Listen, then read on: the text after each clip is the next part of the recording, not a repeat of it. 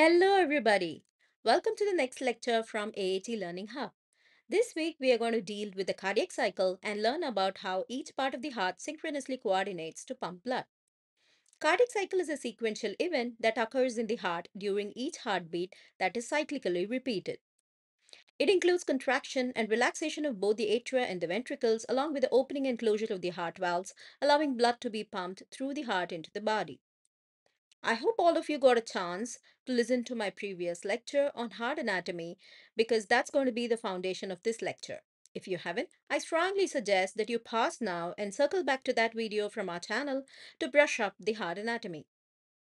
Well, historically, when one talks about the cardiac cycle, this complex Wiggers diagram is flashed with so many waveforms and the seemingly random names of umpteen phases of the cardiac cycle. It is one of the most intimidating diagrams that students encounter in the study of physiology, and it always seems really overwhelming, leaving many of the students confused and annoyed.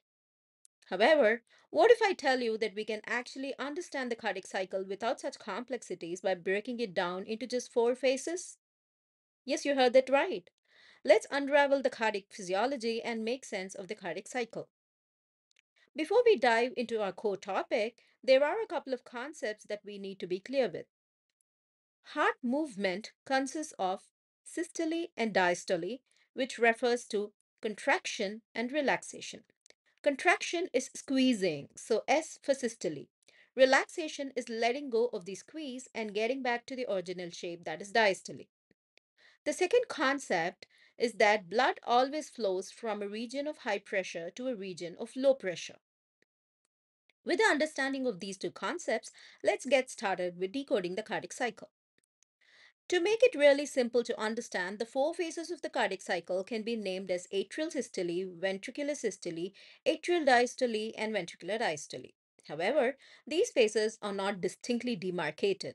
They overlap, and each phase is divided into subphases with specific cardiac activity. At the beginning of the cardiac cycle, both the atria and the ventricles are relaxed, that is, they are in diastole. Blood flows into the right atrium from the superior and the inferior vena cava, as well as the coronary sinus, and into the left atrium from the four pulmonary veins. The two atrioventricular valves, the tricuspid and the mitral valves, are both open, so blood flows unimpeded from the atria into the ventricles. Approximately 70 to 80% of the ventricular filling occurs by this method. The two semilunar valves, the pulmonary and the aortic valves, are closed, preventing backflow of blood. The cardiac cycle starts with atrial systole. As the atrial muscles contract, pressure rises within the atria and blood is pumped into the ventricles through the open atrioventricular valves, namely the tricuspid and the mitral valves. Atrial contraction, also referred to as the atrial kick, contributes to the remaining 20 to 30% of the blood flow. Atrial systole ends prior to ventricular systole as the atrial muscle returns to diastole and blood flows into the atria. This is the shortest phase of the cardiac cycle. Ventricular systole is made up of three phases. Initially, as the muscles in the ventricles contract, the pressure of blood within the chamber rises, but it is not yet high enough to open the semilunar valves. However, blood pressure quickly rises above that of the atria that are now relaxed and in diastole. This increase in pressure causes blood to flow back toward the atria, closing the tricuspid and the mitral valves, producing the first heart sound. Since blood is not being ejected from the ventricles at this early stage, the volume of blood within the chamber remains constant. This initial phase of ventricular systole is known as isovolumetric contraction. Subsequently, ventricular pressure exceeds arterial pressure, thus opening the semilunar valves and allowing blood to be ejected into the arteries. This is the rapid ejection phase and is then followed by a brief, slow ejection phase. The atrial diastole overlaps with ventricular systole and most part of the ventricular diastole and hence is the longest phase of the cardiac cycle.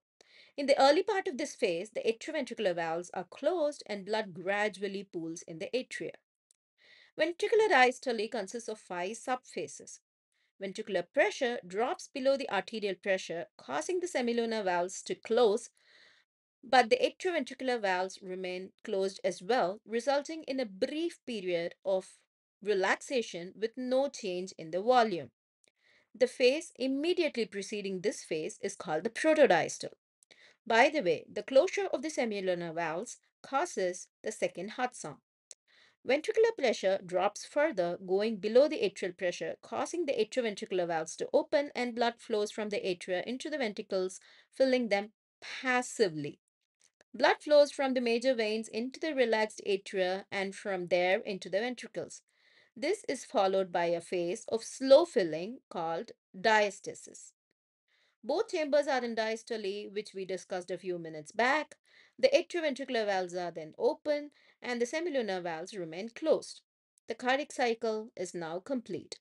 The last phase of the ventricular diastole, that is the rapid active filling of the ventricle, coincides with the atrial systole and the rhythmic cycle continues. How long does a cardiac cycle last? It is calculated as one heartbeat divided by heart rate, which on an average we know is 72 beats per minute. So 1 divided by 72 is 0.013 minutes, which multiplied by 60 is 0.8 seconds. So the time lapse between one heartbeat and the next beat is 0.8 seconds. The duration of each phase in the cardiac cycle can vary slightly among individuals and under different conditions. However, here are approximate durations for each phase and can be influenced by factors such as heart rate, cardiac health, and physical activity level. Visualizing the cardiac cycle as a rhythmic dance can make it more engaging and memorable. For atrial systole, imagine the atria are dancers gracefully moving in unison, symbolizing their contraction to push blood into the ventricles. For ventricular systole, picture the ventricles as powerful dancers executing synchronized movements to pump blood out of the heart with strength and precision. For diastole, visualize a brief interlude where the, all the dancers pause, taking a moment to rest and prepare for the next sequence.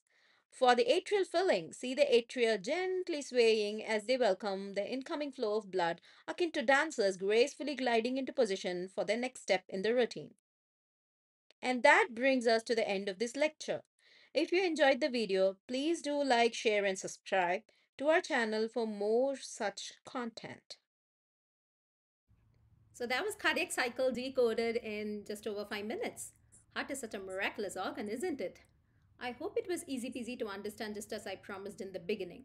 Please feel free to share your comments, thoughts, and suggestions. We so look forward to hearing from you. I do believe you guys are hungry for more learning because there's lots more coming your way from our channel. Join us next week for yet another lecture. Until then, stay focused and stay curious. Bye bye.